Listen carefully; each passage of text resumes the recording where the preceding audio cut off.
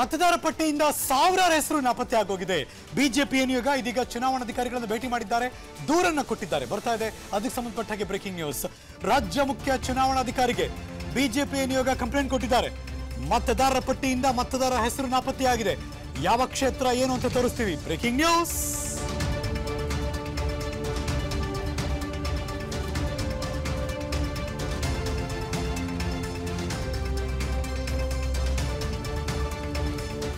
ಮತದಾರರ ಪಟ್ಟಿಯಿಂದ ಮತದಾರರ ಹೆಸರು ನಾಪತ್ತೆಯಾಗಿದೆ.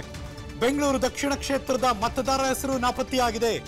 ಸಾವಿರಾರು ಮತದಾರರ ಹೆಸರು ನಾಪತ್ತೆಯಾಗಿದ್ರ ಬಗ್ಗೆ ಮಾಹಿತಿ ಇದೆ. ನೋಟಿಸ್ ಕೊಡದೆ ಮತದಾರರ ಹೆಸರುಗಳನ್ನ ಡಿಲೀಟ್ ಮಾಡಿದ್ದಾರೆ. ಅಕ್ರಮವಾಗಿ ಹೆಸರುಗಳನ್ನ ಸೇರ್ಪಡೆ ಮಾಡಿರುವ ಆರೋಪ ಮಾಡ್ತಿದ್ದಾರೆ. ಒಂದೇ ಕುಟುಂಬದ ಸದಸ್ಯರ ಮತದಾನದ ಕೇಂದ್ರ ವಿಭಜನೆ ಆಗಿದೆ ಈ ಬಗ್ಗೆ ಕ್ರಮ ಕೈಗೊಳ್ಳಬೇಕು ಅಂತ ಚುನಾವಣಾ ಅಧಿಕಾರಿಗಳಿಗೆ ದೂರು ಕೊಟ್ಟಿದ್ದಾರೆ. ಬಿಜೆಪಿಯ ನಿಯೋಗ, ಅದರ ದೃಶ್ಯ, ಅದರ ಕಾಪಿ ನಾನು ಮುಂದೆ ಇಡ್ತಾ ಇದ್ದೀನಿ ಬೆಂಗಳೂರು ದಕ್ಷಿಣ ಲೋಕಸಭಾ ಕ್ಷೇತ್ರ, ಬಿಜೆಪಿ ಅಭ್ಯರ್ಥಿ ಅಲ್ಲಿಗ ತೇಜಸ್ವಿ ಸೂರ್ಯ ಕಾಣಿಸ್ಕೊಂಡಿದ್ದಾರೆ. ಕಾರ್ಯಕರ್ತರಲ್ಲಿದ್ದಾರೆ. ಅವರೆಲ್ಲರೂ ಕೂಡ ಚುನಾವಣಾ ಅಧಿಕಾರಿಗೆ ಬಿಜೆಪಿಯ ನಿಯೋಗ ದೂರನ್ನು ಕೊಟ್ಟಿದ್ದಾರೆ. ಇದ್ರ ಬಗ್ಗೆ ಮತ್ತಷ್ಟು ಮಾಹಿತಿ ನನ್ನ ಸಹೋದ್ಯೋಗಿ ಮುತ್ತಪ್ಪ. ದೂರವಾಣಿ ಸಂಪರ್ಕದಲ್ಲಿ ಜಾಯಿನ್ ಆಗ್ತಿದ್ದಾರೆ. ಮುತ್ತಪ್ಪ, ನಮಸ್ಕಾರ. Very good afternoon good afternoon Harish ಇದು ಈ ಅನುಮಾನ ಯಾಕೆ ಬಂತು? ದಾಖಲೆಗಳನ್ನೇನಾದ್ರು ಕೊಟ್ಟಿದ್ದಾರಾ? ನಿಯೋಗದ ಮುಂದೆ ಏನು ಹೇಳಿಕೆ ಕೊಟ್ಟಿದ್ದಾರೆ ಬಿಜೆಪಿಯವರು?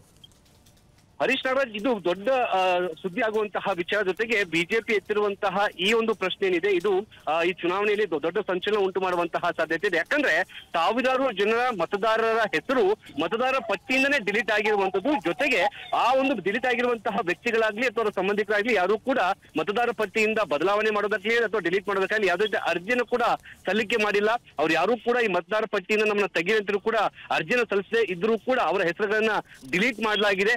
ಈ ಒಂದು ವಿಚಾರಕ್ಕೆ ಸಂಬಂಧಪಟ್ಟಂತೆ ಮತದಾರ ಪಟ್ಟಿಯಿಂದ ಯಾರೆಲ್ಲ ಹೆಸರು ಹೋಗಿದೆಯೋ ಅವರೆಲ್ಲರೂ ಕೂಡ ಸಂಸದರ ಬಂದು ಲಿಖಿತ ರೂಪದಲ್ಲಿ ಕೂಡ ದೂರನ್ನು ಕೂಡ ಕೊಟ್ಟಿದ್ದಾರೆ.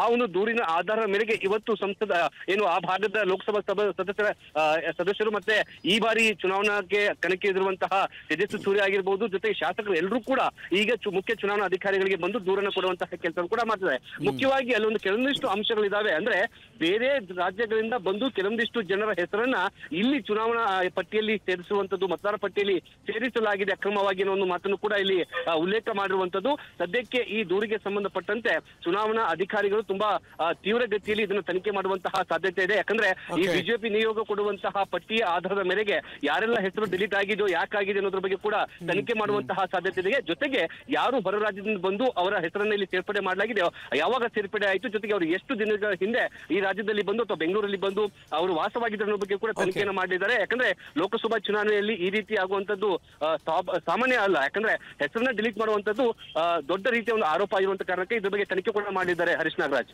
Thank you so much Muthappa. ಈ ಕ್ಷಣದ ಮಾಹಿತಿಯನ್ನು ಅಪ್ಡೇಟ್ ಮಾಡಿದ್ದಕ್ಕೆ. ಅನುಕ್ಷಣದ ಸುದ್ದಿಗಳಿಗಾಗಿ Vistara news YouTube channel subscribe ಮಾಡಿ.